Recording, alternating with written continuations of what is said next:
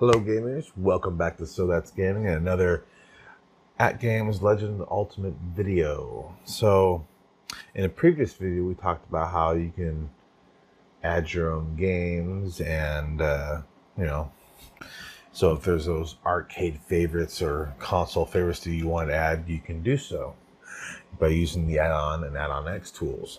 Now, while those are all neat and all, uh, you can take it a step further and I will demonstrate. It's like here, for example, we have all these console games. Some of them are Nintendo, some of them are Super Nintendo, some of them are Sega Genesis, and some are SG1000. So just a little bit of everything in here. But what if you wanted this to be a little bit more organized? Well, we can do that and it's no fancy hack. It's actually something, a feature that's actually available through the official App Store X, which we will show you here. And it's called CoinOps X. Here it is right here. So we'll show you what that is. Get that launched. So CoinOps X, what is it? Simply put, it's a front end that gives you a more graphical user interface when launching new games, with including video previews with sound, of course, and you can sort them using playlists so that you can choose which you want. Just turn that down; might be a little loud. There we go. So let's see, you can you can sort the playlists by showing all the games or the specific system you're actually wanting to play. In this case, Atari 7800 last played game, Nintendo, Super Nintendo, so on and so forth. And for each game, on this little wheel here, now those of you familiar or have ever heard of Hyperspin, this might look a little bit familiar. So you can go through all these on the on the one side, and if you're not sure what the game is, well, no problem because it's going to show you a video preview. So let's go and head over to the computer, and we'll show you how to get this set up. Alright, so we're over here on the computer. Now there's a couple different ways we can do the whole coin ops X. We can use a single flash drive or you can use multiple flash drives. Um, if you're going to have a lot of these created, it might be easier to go ahead and have a second uh, flash drive that you'll install CoinOps X onto. Um, I'm not going to demonstrate that in this, well, no, I'm not gonna I'm not gonna show off the the two flash drive setup, but I will show you how to set up a single flash drive to be used with CoinOps X. It's pretty easy, pretty straightforward. Um, I'm using a SanDisk uh, 32 gigabyte. And I'm using USB 3.0 because, well, it loads CoinOps X quicker when using the USB 3.0 port. Now, if I didn't mention before, I apologize, but for, for clarification, um, I'm not, I'm pretty sure this will work on the 1.0 cabinets. Um, it definitely will on the 1.1 because 1.1 can't take advantage of what's been known as OneSOS. Um, the 1.1 cabinet can't run OneSOS like you know the 1.0 can. It's a similar kind of interface, but it has more features. It's able to run more systems. But since we are on a 1.1 cabinet, uh, it's updated to a certain firmware to where CoinOps X becomes available, and we're able to take advantage of that. And so, let's get started. Let's go and get our flash drive plugged in here. And we're going to basically destroy the uh, the flash drive. So, all right, so let's go over here to the computer. So here you are. Here we have our flash drive. Um, I'm just going to ignore whatever is currently on it because it's a brand new flash drive. And click clicking this PC, go down here and click Manage, and this will pull up your um, you know your computer management. But we want disk management, and you see here it's Drive F. So what we're going to do, go down here and find Drive F. There it is and we are going to delete this volume. That'll give you a warning saying you're gonna lose all your stuff. I'm gonna click yes, and for since we're just going to do this as like a demo, I'm just to make a I'm just to split the volume in 50-50. So first half's to be 16384 for 16 gigabytes. And guess we can make that or oh. All right now this is important. I've, I've found that I've had issues with this. So when choosing a drive letter it's always good to have the first partition. Now this is if only if you're using the single flash drive method.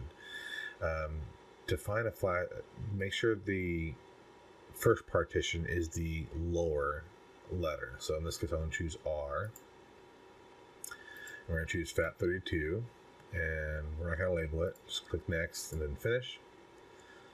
And that will create that. Can go and close that. And this other half, we're going to create a new volume. Um, okay, whatever. Next.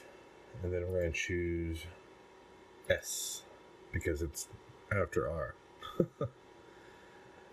and on this, I'll go ahead and create. We'll make this. What's small enough? If it's if it's larger than 32 gigs, you'll choose exFAT. And we're going to and call this coin ops X. You don't have to do this. Just just yeah, moving right along. So we're calling it coin ops X. Finish. Voila. Okay. So now we're done with this. And right here, I have some files all set up here. Let's see. We're to go open our flash drive. Where'd it go? There we go. So here's our flash drive. And this is just some files I put together. Now, in the previous video, you remember I made some a UCE folder and we moved everything over there. Well, I found that you can separate them into different folders. And so the purpose for that, well, I'll show you when we go back to the cabinet. Now you'll notice there's this other folder called Cox or Coin Ops X. And inside this folder is where you're going to put all your artwork, where you acquire it. That's on you. Now, there are pre made builds. I will not be able to provide you with any links, but Google is your friend and just remember sauce and CoinOps X, and you should be able to find it for the ALU or AtGames Legends Ultimate. So in here, for example, you know you get all your cover art, and then the logos, which will which are on the, the, the wheel. This is where all the logos are, and the marquee is the sign at the top of the arcade that's displayed in, on the screen. Now, Another neat feature about CoinOpsX is that it is compatible with um, the Pixelcade or the bit pixel that you can use to replace your existing marquee and make it all retro looking. So it's pretty neat. So, um, and then all your videos. Now the videos, if you're going to create your own video samples, they need to be 640 by 480. I believe. Yeah. Yes. Now it might be different for these uh, vertical screens. I don't know. But so we're going to copy all of these folders over here to our flash drive. The second partition, not the first partition, because the first partition is going to be formatted to a proprietary format on the AtGames. Now, just like in the previous builds, we still have to run the add-on X tool. So, go here, we'll find our flash drive here, S I'm just going to drop that in there so that way, boom. And since this only has a handful of games, this should actually go pretty quick. All right, we're all done. as you can see, just like before, it created an add-on X folder. So we're done with our flash drive. So we're gonna go ahead and go back to arcade, and we'll sh show you what it what we what we created. So, all right, let's go ahead over. All right, back on our AtGames. All right, so you can see at the top, there currently isn't any flash drives installed. So we're going to plug our USB drive into the USB port, in this case the 3.0 port on mine, since I have a 1.1 cabinet. To demonstrate those who are interested in having different categories, let's go and launch our coin out or add-on X. And you can see here, it will organize all your UC files into uh, their folders. Arcade, Genesis, NES, and SNES. That's all cool and all, but we want all the fancy videos and stuff. So let's go and get that set up. So first, if you're using a single flash drive or or multiple flash drives, either way, you're gonna have to run this through the flash drive X setup. That's under settings, under one of the menu settings, flash drive X. We have to run that. Now don't worry about formatting all the games and stuff and artwork we've already put on there because this is designed to format only the first partition. So first we got to format it. All right. After that's done, we have to mount this.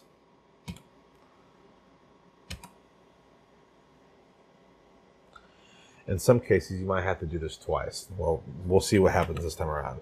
So now we're mounted, so we can go back and I have to go to the App Store here. I have to go down to Coin Ops X. This isn't installed, so we'll have to install that. Now this will get installed into that first partition that it just formatted. Now, let's see if it'll launch, since there's not very many games for it to, uh... Alright, no problem. try launching it one more time real quick. Okay. Now, don't worry, it did not format your, your games. So the only thing we have to do is we're to remove it. Wait for the USB thing to disappear here for a second. Now this won't be a problem when you first boot up because it'll automatically mount everything that needs to be mounted. Plug that back in. Now unfortunately we will have to go back to settings and go back to flash drive X and we'll have mount again. There we are, mount success. Let's go back. Our flash drive shut up, so now we can go back to CoinOps X and we can launch it. And here we are. So as you see here, all games, this will have all the games that are on the flash drive. Now using the X button, you can sort it specifically by console. And all of our games that we've added to have their own custom artwork in the background, the marquee, and a video preview. Now, not all of them will have a custom marquee. You can make them, but there's Super Nintendo and the Genesis. And of course, arcades. So there you go pretty neat, little front end to make things a little more exciting on your CoinOps X. Uh, if you have any questions, leave them in the comment section below. And uh, we'll see you in the next video. Thanks for watching.